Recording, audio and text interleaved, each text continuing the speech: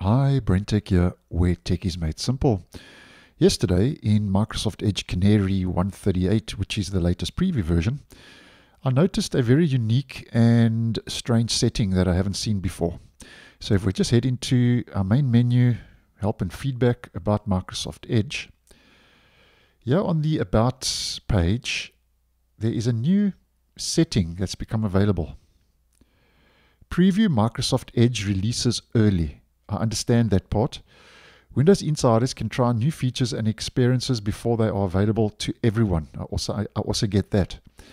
But if we zoom in, so you can see it a bit better in the video, it's got a $1 token at the end of that description. And that setting is grayed out.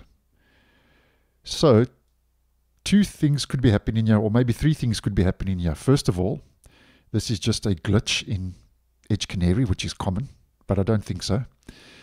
Secondly, it's exactly what it's going to be. You'll be able to try new features and experiences before they're available to everyone, and that will become a working feature. Very similar to what we get in Windows, where you can get the latest updates as soon as they are available, toggle turned on something very similar to that. Or this is going to become a charged feature, and that is a placeholder for how much it'll cost. Obviously, this is just me speculating, but there's no other information provided. So, very interesting that if you want to try out new features, you could be charged for that.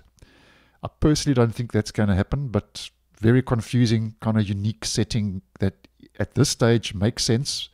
But this little one dollar token is kind of throwing, you know, is throwing things a little bit, so to speak.